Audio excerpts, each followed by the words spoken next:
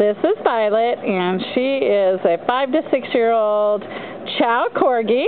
She's about the size of a Corgi, um, but she has a cute little Chow head.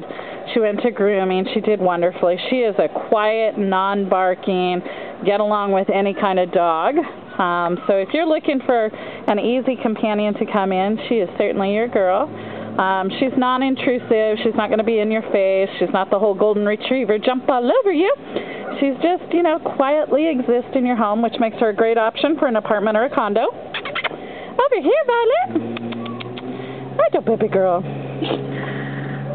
Our Violet is looking for a fabulous home that appreciates the contentness of a chow and the loyalty. Um, and the low energy, kind of the couch potato, but like to go on, you know, short walks, could go to the dog park.